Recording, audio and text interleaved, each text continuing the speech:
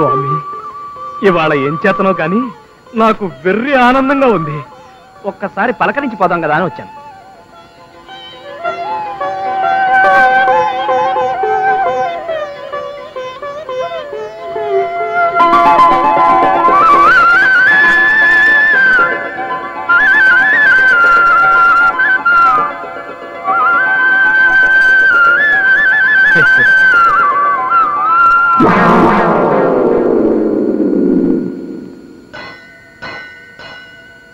ఎక్కడో చూసినట్టుంది.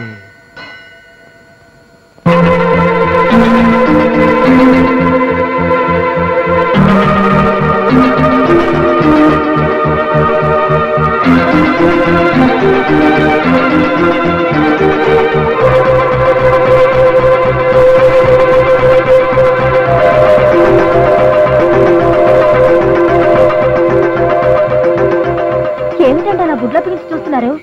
మిమ్మల్ని కోసం బస్ స్టాండ్కి వస్తారని నేను ఎంతసేపు ఎదురు చూసానో తెలుసు? బస్ స్టాండ్ కా నేనా? ఎందుకు? ఎందుకేమిటండి నా మొహం? అయ్యయ్యో అదేమిటండి ఇలా చిక్కిపోయారు? దిగులా? దిగులా? నాకా? ఎవరి మీద? కొత్త పెళ్ళి కొడుకులా? అన్ని నేనే చెప్పాలా? నా మీద. అంటే మీ భార్య మీద. భార్య? అమ్మో! ఇదిగో పంతులు గారు ఆ పలహారం అంతా పేదవాళ్ళకి పంచిపెట్టేయండి. నాకు అర్జెంట్ పని ఉంది నేను వెళ్ళిపోతాను. మీకు పెళ్ళం కన్నా పనులు ఎక్కువ అన్నమాట. నన్ను ఇంట్లో దిప్పి వెళ్ళండి. మన ఇల్లు దగ్గరేనా? మనిల్లా అసలు ఎవరు నువ్వు? మీకేమైనా పిచ్చి కింద మర్చిపోయిందా అయ్యో అందరూ చూస్తున్నారు. ఇంటికి వెళ్ళి హాస్యాలు ఆడుకుందాం. పదండి రండి వెళదాం. ఏం జరిగింది? అబ్బే ఏం లేదండి. మా వారికి ఇదో సరదా. ఏమండి రండి సూట్ కేసు తీసుకోండి. ఇదిగో చాలా తెలివిగా అడ్వాన్స్ అయిపోతున్నాను అనుకోకు. అసలు నువ్వెవరో నాకు తెలియదు తప్ప. ఏమండి ఏంటయ్యా? ఇందా నేను చూస్తున్నాను ఏంటి నీ గొడవ?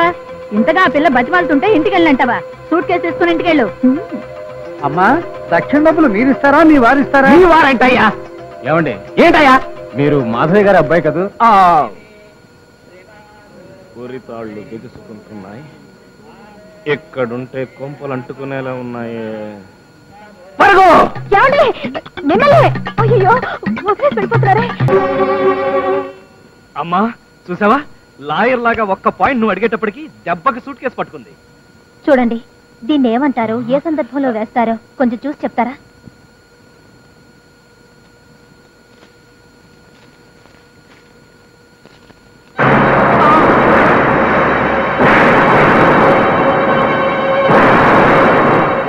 ఏమిట్రా ఇది? ఇప్పుడేమంటావురా ఇప్పుడు ఏం తెలియదంటావా? నాన్- నాన్న అది ఆ కార్డు మా బాసు? ఏంటయ్యా బాసు బాసుని మీటింగ్ పెట్టావు? ఆ, ఏం మాధవయ్య గారు? అరే సర్ప్రైజ్! నీ వైఫ్ కదూ? అమ్మాయి నువ్వు? మిసెస్ రాంబాబుని. నమస్కారం బాబాయ్ గారు. నమస్కారం అమ్మా. నీ ఫోటో నాకు బాగా గుర్తుంది. నువ్వు వచ్చేస్తున్నావని తెగ మురిసిపోతున్నాడు. వచ్చేసావు. వెరీ గుడ్ రాంబాబు ఏంటే? ఏమిటా పోజు? ఆ, ఏం లేదు సార్. ప్యాంట్లోకి చీమ దూరినట్టుగా ఉంటేను. అలా కూర్చోండి బాబాయ్ గారు. ఆ, పర్వాలేదమ్మా. మీ పెళ్ళికి రాలేకపోయాం. పాప రమ్మంటూ తెగ మొహమాట పెట్టేశాడు. పైగా స్వీట్లు లడ్లు చిలకలు కూడా తెచ్చిచ్చాడు. ఏరా బాబు తెచ్చిచ్చాడు? చిలకలు లడ్డూలు ప్యాక్ చేసి ఇవ్వమని మా వాళ్ళ ప్రాణం తినేశారండి. కదండి? ఆ, మీరంటే ఎంత గౌరవం ఆ రోజు రాత్రి అంతా మీ గురించే చెప్పారు. అవునమ్మా చెప్పాడు చెప్పాడు. ఏరా బాబు చెప్పావు కదా? ఆ రోజు రాత్రి మీ ఫోటో. నాకు తెలుసమ్మా నా ఫోటో నీ కొంగులు కట్టాలంటే దాన్ని బట్టే చెప్పొచ్చు. రాంబాబు నాకు చాలా ఆనందంగా ఉందయ్యా. ఇక మీ టైం వేస్ట్ చేయడం నాకు ఇష్టం లేదు. వస్తాను. ఏమిటండి? బంగారం లాంటి కోటలు వస్తే మీరేమిటి ఆలోచిస్తున్నారు? అదేనండి. ఎందుకు ఇలా ఉన్నానా అని ఆలోచిస్తున్నా. ఏమయ్య రాంబాబు మీ మేడం సినిమా ప్రోగ్రామ్ పెట్టింది. వస్తాను ఉండండి బాబాయ్ గారు కాస్త కాఫీ తీసుకుని వెళ్తారు కాఫీ? మేడం గారు వెయిట్ చేస్తుంటారు. మీరు వెళ్ళండి సార్. అలాగే. రాంబాబు నువ్వు నీ వైఫ్ మా ఇంటికి ఒకసారి డిన్నర్ రావాలి ఏమ్మా ఓకేనా? నాదే ఉందండి. అంతా ఆయన ఇష్టం. ఏమండి? అవును అలాగే. మీరు వెళ్ళండి సార్. అలాగే వస్తాను. ఏమండి వస్తాను? పెట్టి తీసుకుని మర్యాదగా బయటకు నాడు హ్మ్. నాన్న అసలు ఏం జరిగిందంటే? సావిత్రి తలపోటుగా ఉంది కదా అమృతాంజన ఉందా? అమ్మా అసలు ఏం జరిగిందంటే? మీకు వేడి నీళ్ళు కాపడం పెడతాను పదండి. తొందరగా రారా వస్తున్నా నాన్న. ఏమి నాన్న తెగడావిడి చేస్తున్నావు? ఏమిటిదంతా ఆ, అవన్నీ స్వీట్స్ రా. నీకు ఇష్టమని మైసూరు పాకు జాంగ్రీ లడ్డు చేయించాను రా. అలాగా? అయితే జాంగ్రీ. ఇక్కడ తినకూడదురా. ఇది ఆ గదిలో పెట్టడానికి. మీరు ఆ గదిలోకి వెళ్ళి తలుపేసుకునే మొత్తం నేనేమి గదిలోనా? ఏ గదిలో నాన్న? ఆ గదిలోరా ఆగదంటే వంట గదా నీకు తెలియదు తర్వాత చెప్తాను. ఆ అర్థమైందిలే. గదంటే పూజ గది.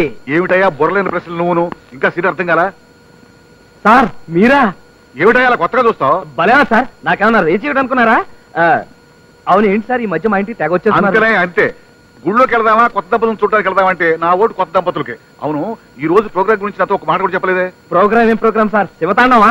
ఆట అయిపోయి అవును మీ నాన్నగారు ఎక్కడ? ముహూర్తం ఎన్ని గంటలకి? ఇక్కడే ఉన్నాను సార్. ముహూర్తం తొమ్మిది ఇరవైకి. ఇంకా రెండు నిమిషాలు టైం ఉంది. నువ్వు తొందరగా రెడీ అవరా ఇంకా రెడీ అవుట్ ఏమిటండి పాత సంవత్సరానికి రెడీగా ఉంటాను రమ్మనండి దంపతులు ఇద్దరు లోపల దోసేయండి.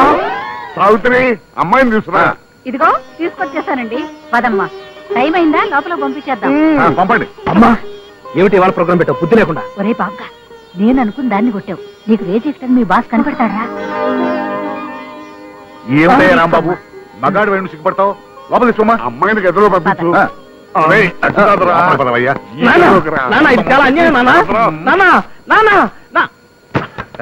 అబ్బా ఏమండి? ఇలా దగ్గరుండి కొత్త దంపతుల్ని గదిలో పంపించడం ఇది తొంభై మూడోసారి. God bless you.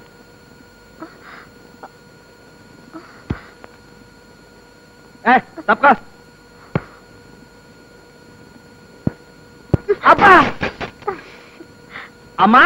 ఏంటయ్యా పిలిచావా? సార్ మీరు ఈ రోజు రాత్రి ఇంటికి పోరా? పిలిస్తే పలికే దైవంలాగా గుమ్మలోనే కూర్చుంటారా ఏం కావాలయ్యా నీకు? లుంగి సార్ లుంగి కనిపించట్లేదు. లుంగి కనిపించట్లేదా? నేను వస్తున్నాను ఉండండి సార్. ఇటువంటి మధురమైన సమయంలో పాపిస్ట్ లుంగి గురించి చర్చ. చీ చీ చీ, చీ మీరు రండి సార్. ఇదిగోండి. ఏమిటిది? లొంగి. నేను చస్తే నమ్మను. అది డెఫినెట్గా నీ చీర అయి ఉంటుంది! నా లుంగి నేను వెతుక్కోలేను అనుకుంటున్నావా? నేనేమన్నా పుట్టు గుడ్డి అనుకున్నావా? నీ హెల్ప్ నాకేం అక్కర్లేదు. నేనే వెతుక్కోగలను. ఇది నా లుంగి. బలవంతంగా గదిలోకి నెట్టి తలుపు మూసినంత మాత్రాన నువ్వు నేను ఒకటైపోతాననుకుంటున్నారా? చస్తే జరగదు.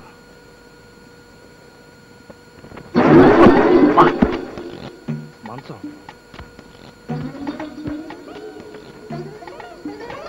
గోడ. ఆ. ఏమిటయ్యా రాంబాబు? ఇది తప్పు కాదు. సార్ మీరా సార్? లోపలికి ఎప్పుడు వచ్చారు సార్? ఈ రాత్రికి నన్ను వదిలిపెట్టి వెళ్ళకండి సార్. ఇక్కడే ఉండండి sir. Please sir. Please. Sir ఏం సార్? ఇలా అయిపోతున్నారు? సార్ మీరు మీరేనా సార్? మీరెవరో నాకు తెలియదు సార్. సార్ మీసనే సార్? సార్! అమ్మో! ఆడదాని బాడీలో ఇంత పౌరుందని ఇప్పుడే తెలిసింది. ఇలా అయితే లొంగిపోవడం ఖాయం. బాబు ఏం జరిగిందయ్యా ఇంకా పూర్తి కాల? వెనక్కి వెళ్ళండి. ఇదంతా హౌస్ఫుల్ ఇదిగో ఏ, తప్పండి తప్పండి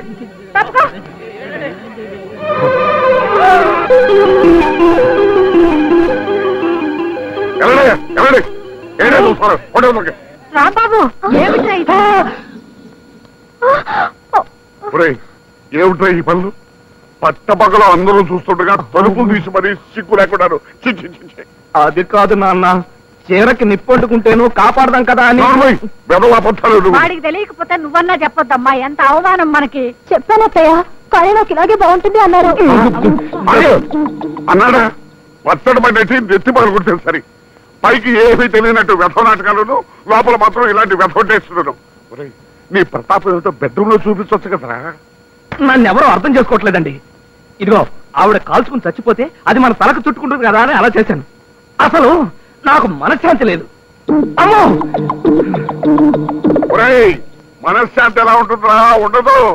లక్షణంగా కాపురం చేసుకుంటే ఇలాంటి నాటకాలను ఆపేసి అప్పుడు మనశ్శాంతిగా ఉంటుంది.